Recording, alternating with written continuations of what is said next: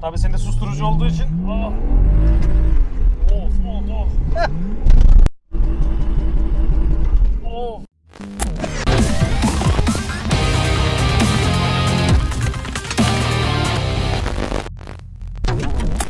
Merhaba arkadaşlar yepyeni videoya hoş geldiniz. Arkadaşlar bu videoda yine bir vlog olacak.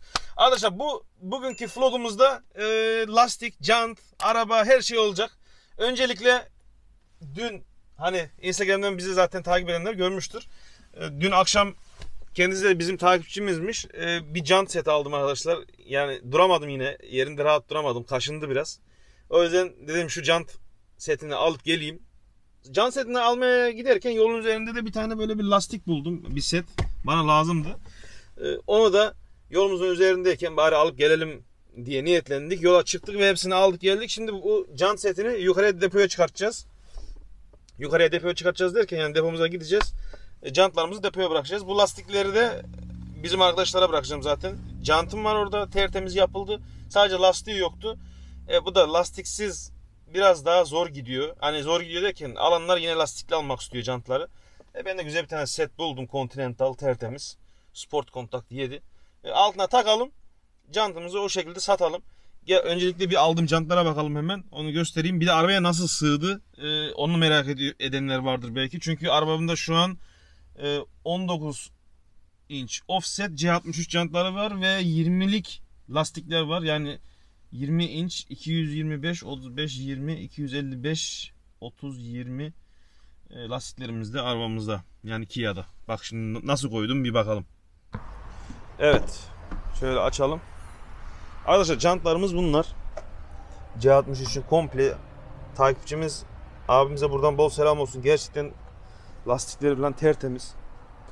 Az yıpratılmış, temiz kullanılmış, güzel bakılmış bir jant setimiz. Her şeyimiz var bak. Sen, orijinal AMK sensörlerimiz var. Kapaklarımız yine öyle orijinal. Lastiklerimiz Michelin 4S severiz. Ve tertemiz yeterince 7 milimlik profilde mevcut. Şimdi şurada iki tane lastiğimiz var. İki arka büyük lastiklerde bunlar burada. Onun altında da tekrar yine 20'lik lastiğimiz var. Onları da oraya koydum. Arabamız böyle bu şekilde tam takır. Yani hiç boş yer yok. Şurada yine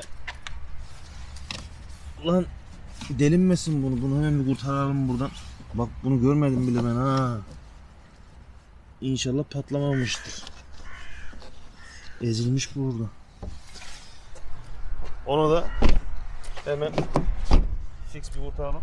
Şuraya da şöyle şu lastiklerden masa yaptım arkadaşlar bak. Şuraya kameramın kabını koydum. Buraya suyumu koydum. Şurada bir torba hurmamız var. Hurmayı severim ben. Yolda giderken gereken yerim. Böyle şimdi. Kia böyle bir zulüme hazır değildi arkadaşlar. Gerçekten yıpratıyoruz, kırbaçlıyoruz böyle bu Kia'yı. Şuna bak. Arkadaşlarımla birlikte hep yollardayız. Şimdi önceden bizi bilenler hani ezeli takipçi takip edenler bizim has kadromuz bilir. Ee, babamın minibüsünü kaçırdım diye bir video çekmiştik. artık bence minibüsü kaçırma vakti yine geldi arkadaşlar. Çünkü bu Kia'ya gerçekten hiçbir şey artık sığmıyor. Hiçbir şey sığmıyor derken ben böyle bir şey almaya gittiğim zaman genelde mesela 3-4 set jant seti alıyorum. Yolun üzerinde böyle ayarlıyorum. Ee, jantlarımı müşterilerden aldıktan sonra geri getirmek istiyorum genelde ama böyle bu şekilde gördüğünüz gibi yani uzun yol yaptığın zaman mesela böyle güzel olmuyor, hoş olmuyor. İnsan orada bir şey görüyor, alamıyor ve o içinde kalıyor. Ben şahsen bir şey gör, gördükten sonra onu alamazsam, o gördüğüm şeyi alamazsam o, o gece rahat uyuyamıyorum. Böyle bir takıntı oldu. Takıntı oldu değil mi? Takıntı değil pardon ama insan hani böyle ticaretle uğraş, uğraştığı zaman orada bir mal ya da herhangi bir şey gördüğü zaman onu alamadığı zaman içine böyle bir, bir şey oluyor. Yani beni illaki bilenler biliyordur. Hani bu durumda olan bir şey bir tek ben değilimdir. Ee, bu da insana gerçekten biraz koyuyor. Ee, e ben de o yüzden diyorum ki artık ya babamın arabasını kaçıracağım ya da bu Kia'yı satıp bir minibüs alacağım. Bakalım hayırlısı. Önce şu arabayı bir boşaltalım. Şimdilik elimizdekilerle yetinmemiz gerekiyor. Evet lastiklerimizi indirdik. Continental Sport Contact 7 lastiklerimiz. Bunları BMW'nin altına, yani BMW jantlarının altına takacağız. Üzerine takacağız. BMW'nin altına gelecek. Şurada görmüş olduğunuz gibi işte C63'ün jantları ve üstünde güzel Pilot Super Sport MO lastikleri arkalar için ve önler için Michelin Pilot Sport 4S. 4S'leri ben daha çok tercih ediyorum. Zaten şurada mesela bir tane bir BMW F90 M5 jantımız var Competition. Bunun altına da Pilot Sport 4S lastiği takmışlar. Zaten herhalde bence bunlar fix bununla çıkıyor. Yani bayiden falan almaya kalktığın zaman bu jantları Pilot Sport 4S zaten yıldız işaretini buraya koymuşlar. Bu ne demek oluyor? BMW bu lastiği öneriyor. Yani BMW'in kontrolünden testinden çıkmış. Bu janta bu lastiği uygun görmüşler. Arkadaşlar şurada yine bir E36 jant kulemiz var böyle. Diktik kuleyi böyle buraya. İki tane arkada da var. Şu arkada bir yerde de var. Bu E36'lar gerçekten hastalık oldu. Bunlar mesela E36 Contour Styling 23 jantları. Offset. Sedanların altında olanlar. Tabii coupe, cabrio hepsine oluyor. Şu arkada yine bir tane Styling 39 Sunflower e, jantlarımız var. Onlardan bir set daha var elimde. Ona lastik falan taktım tertemiz. İçini böyle polish yaptırdım. E, güzel bir şekilde. Onu ben kendi aracıma takmayı düşünüyorum kabrionun altına. Ama şu an elimde bir tane temiz yedek jantıyla birlikte Styling 22 Motorsport yazan böyle. Onun da yanında yedek jant olarak mesela elimde bir tane set var. Tabi bu set ucuz değil. Onun da sebebi bu görmüş olduğunuz bütün jantlar arkadaşlar burada hepsi hatasız, kusursuz. Ha lastiklerinin kimisi 7 milim profil, kimisi 5.5-6 milim profil olabilir. Ama onun dışında jantların kendisinin hiçbirinde hasar yok. Birçoğu jantlar zaten daha temiz bak burada da lastik görmemiş. Ee, hasarlı olan jantları ben yaptırıyorum profesyonel bir şekilde.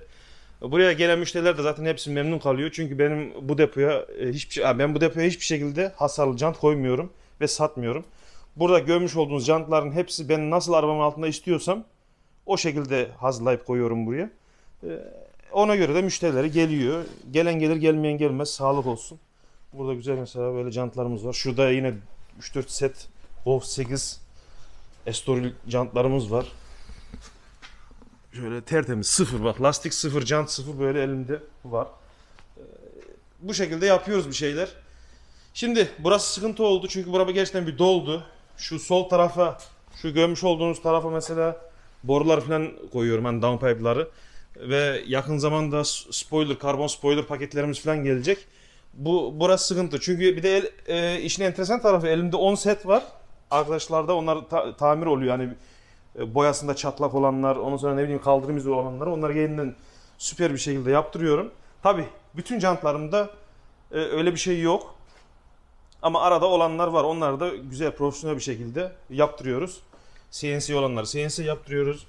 E, boyanması gerekenleri boyattırıyoruz. Orijinal boya kodlarıyla vesaire. Onları geri tertemiz e, hanemize katıyoruz. Yani buraya depomuza koyuyoruz.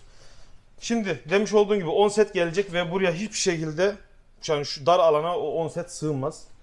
E, zaten birçoğu jantların üzerinde de yine bir set jant daha var veya lastik var. Böyle hep sıraladım üst üste idare etmek için. Ama şu görmüş olduğunuz yan taraftaki boksu, üniteyi yanına kiraladım. Yarın değil, yarından sonra bunu anahtarını teslim alacağım. Ee, sol tarafa yani bu tarafa komple downpipe'larla spoilerları koyacağım. Bu tarafa da jantlarımı koyacağım. Ayıracağım böyle. Hani ayrı tutacağım. Böylelikle hani kontrolümüz de olur. Buraya girip de burada mesela parça aramamıza gerek kalmaz. Ha jant için mi geliyor müşteri? Sol tarafa aç, jantı şeyi ver. Egzoz downpipe veya spoiler'ı ver. Jant için mi geliyor? Sağ tarafa aç. Kapağını, jantını ver. Hadi Allah. Çünkü bu sefer jant için geliyorlar. Buraları böyle karıştırmaya falan çalışıyorlar. O da hoş olmuyor. Ee, biraz bazı şeyleri artık sistemine oturtmak gerek. Önce bir hobi olarak başladık. Şimdi e, gerçekten ciddi bir şekilde e, bunun ticaretini yapmayı düşünüyorum. O yüzden yavaş yavaş sabit adımlarla ilerliyoruz. Sağlam adımlarla. İnşallah tabi Allah'ın izniyle. Çalışmadan, çabalamadan olmuyor. Arkadaşlar şunlar da koyayım depoya. Onu sonra e, yolumuza devam. Çünkü daha bugün birkaç tane yer daha vuracağız. Hadi bakalım. Evet arkadaşlar. Biliyorsunuz bu bağcı kapağını açtığımız zaman can göstereceğiz. Burada Styling 23 konturlar var yine. Şöyle bir set. E36 M3 sedanlar için. Arabamızı yine doldurduk. Pardon. İki set sığdırdık böyle temiz. Tabi bunlar yapılacak. Boyanmış ama oksitlenmiş. Onları komple yeniden tertemiz çıkartacağız. Lastikler zaten çöpe gidecek. Şurada yine Burada da bir tane LTV E36'nın facelift yani yeni model tip 2 Gen 2 E36 M3 jantlarımız var LTV. Bunları da güzelce geri restore edeceğiz. Şunları falan hep yapacağız buradaki çizikleri vesaire. Olabilirse polish yapacağız. Bak burada mesela şöyle bir hasarımız var. Bu hasarı falan tamir edeceğiz. Buna bir bakacağız. Buna güzel bir proje yapacağım. Bakalım istediğim gibi olacak mı? E, ama bir sette M3 böyle LTV offset jantımız var. Bunu Onur'dan aldık sağ olsun. Burada Speed All In. Güzel arabalar var burada bak. Şunu hatırlıyorsunuz zaten. Bununla Nürburgring'in içinde bayağı bir yırtıldık. Güzel bir tane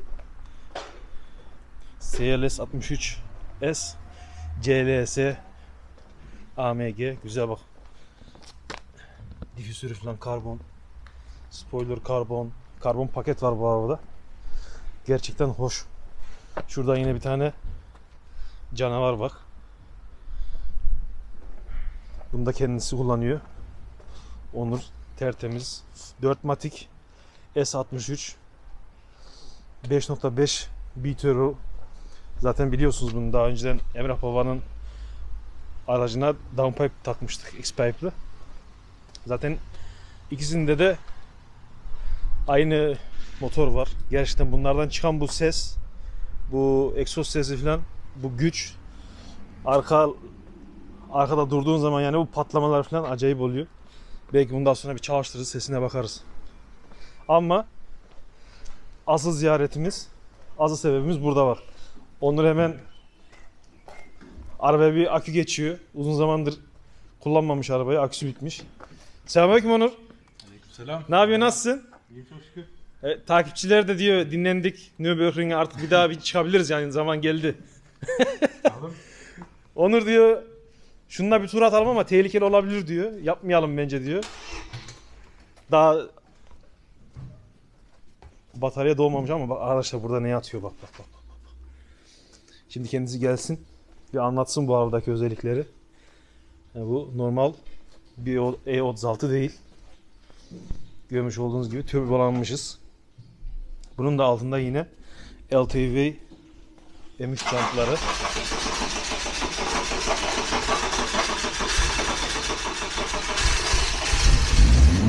Aha. Canlandı. Of.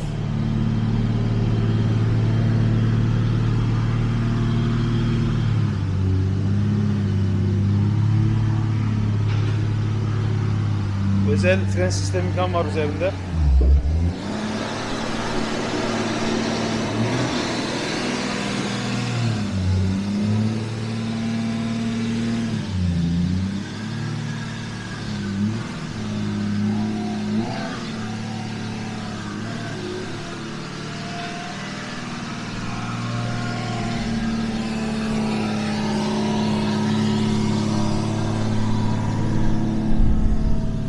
Koltuklarımız falan orijinal fadır yani öyle çakma çıkma bir şey değil. Bizimki gibi değil yani sonradan fadır çevirme değil. Bu araçta iki tarafta zaten her şey orijinal. Onur bu araba ne? Bu araba 320 idi. 320 idi. Şimdi 325 turbo. 325 turbo. Evet. Ama sanki bayağı bir e, her şey M3'e çevrilmiş yani içi falan. Ee, 2 M3. Evet. Ee, şanzıman diferansiyel hepsi M3. Evet. Orijinal ama değil mi? Yani gerçek Orijinal. M3'ün alt takımları. M3'ten evet. Evet. Bu motorlar turbo için bayağı dayanıklı motor. Evet. 2.5 litre banosuz. Evet. Ee, 400-500 beygir kolayca Çıkarabiliyorsun. Seninki şimdi kaçta? Bu 431 beygir, Evet. 543 Nm tork. Ama safe yani hiç sıkıntısız. Her zaman ay- aynı. Sıkıntısız demeyelim de. Ya tabii anda- E, E36 sıkıntısız öyle bir e, Yok. dünya yok yani. Öyle yok. Şu anda yağ yakıyor motor. Evet. Ee, Başka bir e, motor girecek içine. Evet. Ama o motoru yaparken hatadan dolayı. Ama bu motorlar 400 beygir Rahat alabiliyor yani. dokunuşlarla rahatça yapar. Standart bir şeye benziyor ama tabii motor kaputunu açtıktan sonra biraz gaz verdikten sonra ca- canı başı her şey ortaya çıkıyor.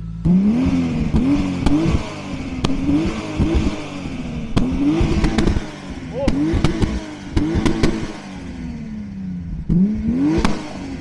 Of.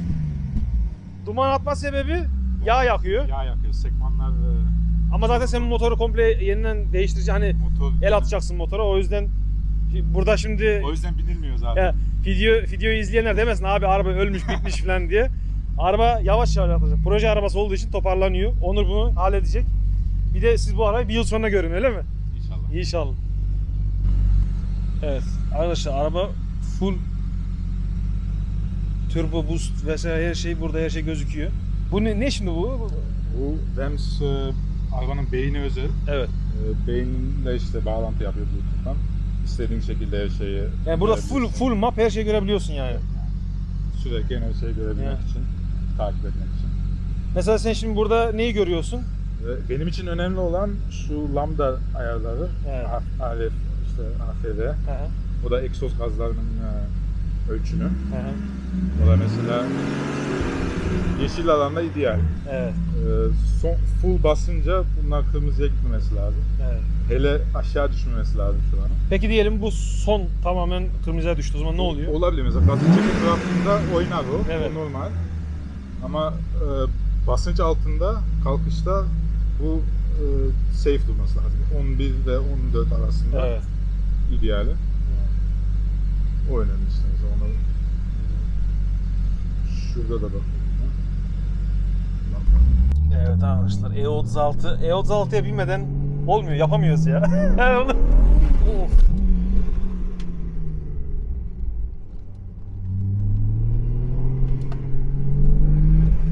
Sesi de acayip kulağa hoş geliyor. Tabii sende susturucu olduğu için ah.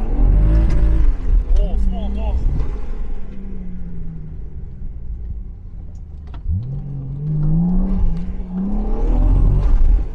Of. Ama acayip hissettiriyor ha. Ya.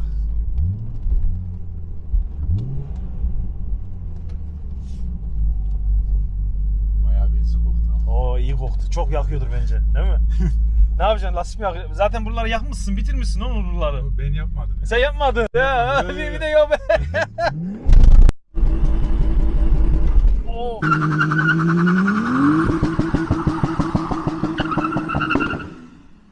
Şuna bak. Oo, ne güzel tertemiz koktu ya. Vallahi billahi oh.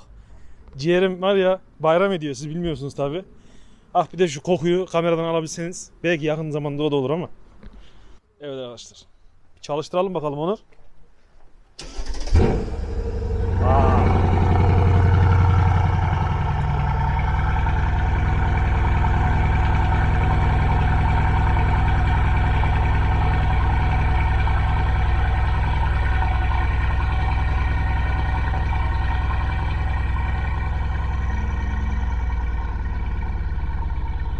Amhin sesi de başka ya. Tam senlik değil mi? evet. Direksiyonu falan gerçekten tam baba arabası. Tam aslında sıla yolu arabası ha. Oo al işte. Şuna bak. Kumanda, mumanda, ekranlar her şey. Zaten Türkiye'ye gittiniz bu arabayla. Git. Bir daha gidecek herhalde yazın. Bilmem. Bakalım. Şöyle bir arabayla da Türkiye'ye gidilmez mi ya? Şuna bak. Maşallah. Ama sesi de gerçekten hoş bak. Şimdi de sessiz. Bu arabaların da bu güzelliği var. Oo.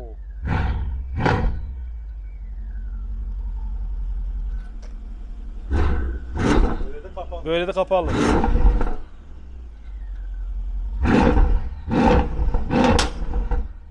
Of. Turbo Whistle. Şu Turbo Whistle sesi var ya acayip ya. Anıl, O- Onur, Anıl diyorum. An, Anıl, Anıl'la andık buradan. Bol selam olsun Anıl'a da.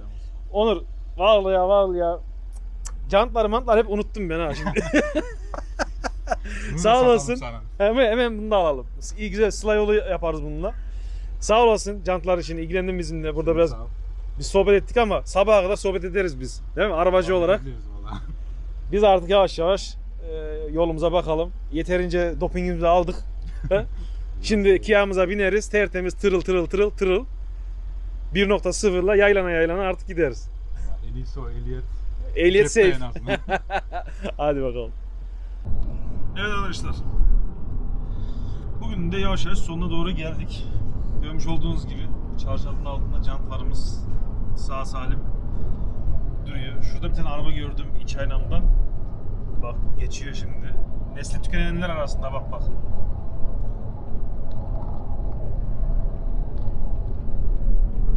Ha geliyor.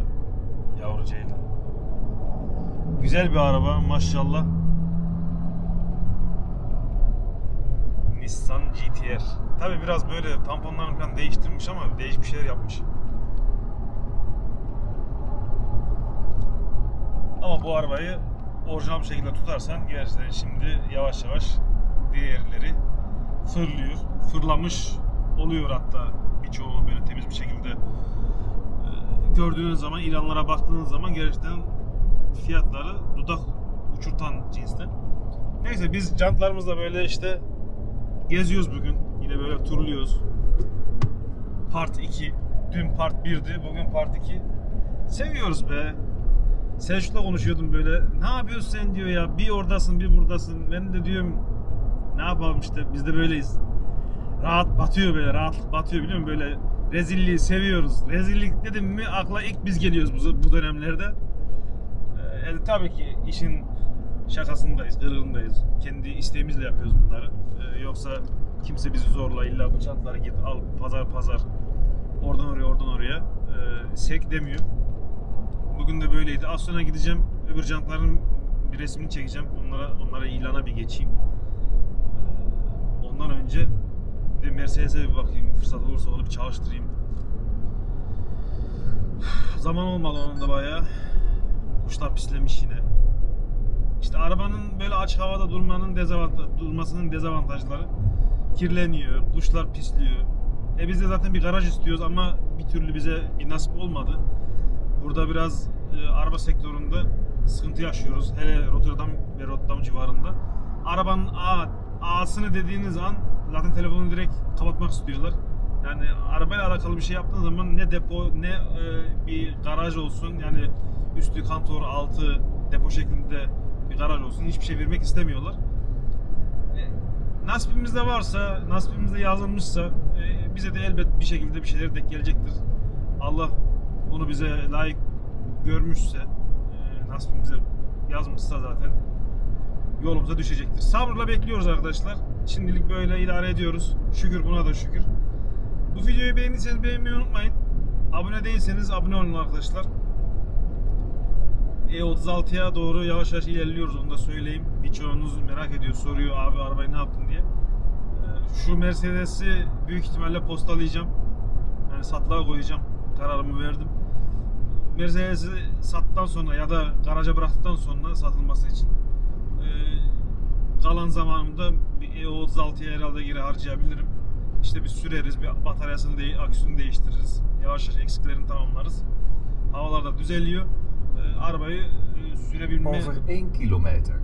Rechts aanhouden. kıvamına getiririz. Ee, Onun da artık tadına bakalım değil mi? Boşuna o kadar para gömmedik o arabaya. Biraz biraz bir keyfini sürelim. Arkadaşlar kendinize iyi bakın. Bu videoda böyleydi. Allah'a emanet olun. Videoyu beğendiyseniz beğenmeyi unutmayın. Lütfen rica ederim.